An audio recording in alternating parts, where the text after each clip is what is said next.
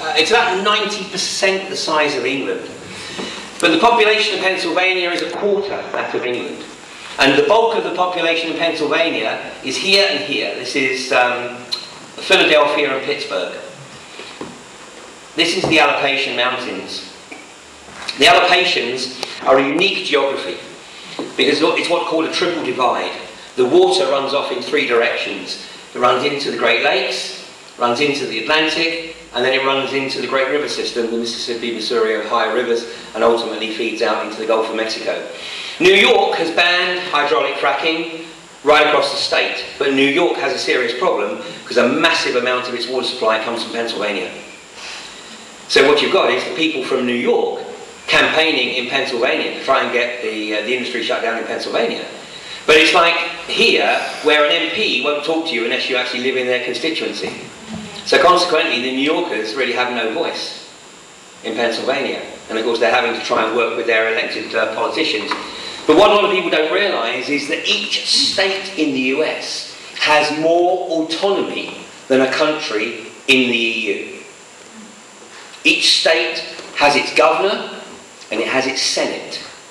And the autonomy of those levels of, uh, of governance are greater than anything we have in the EU. So consequently, you can see why New York has a problem, because it's like dealing with another country. So, Gasland came about, and in fact, it is thanks to Josh Fox that you know, we have the level of awareness of the hydraulic fracturing process in the wider consciousness. Because it was in 2009, you know, Josh is uh, a landowner in Pennsylvania, and he was offered $100,000 by one of the gas companies to get access rights onto his property.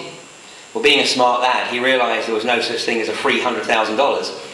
So he decided to take a road trip across to the Midwest to take a look at the experiences of Colorado, of New Mexico, of Oklahoma, and see what the people in these areas had experienced with the gas industry over 20 years. And what he saw so shocked him that he set about making Gasland. Now, Gasland and Josh acknowledges Gasland has received a lot of negative press. And Josh acknowledges that he, you know, when Gasland was made, he made it to be sensationalist. He certainly succeeded. But what he's done with Gasland 2, he's tried to address all of the criticisms that were thrown at him over Gasland 1. And Gasland 2 is much more centred on the science. And what he's trying to do is he's trying to get Obama to meet with the scientists that contributed to the making of Gasland 2. But I'm going to show you a very short clip from a documentary that, in my opinion, is far better than Gasland. It's one that's more difficult to remember because the title doesn't roll off the tongue like Gasland. It's called Split Estate. Now, split estate refers to the legal definition of who owns what.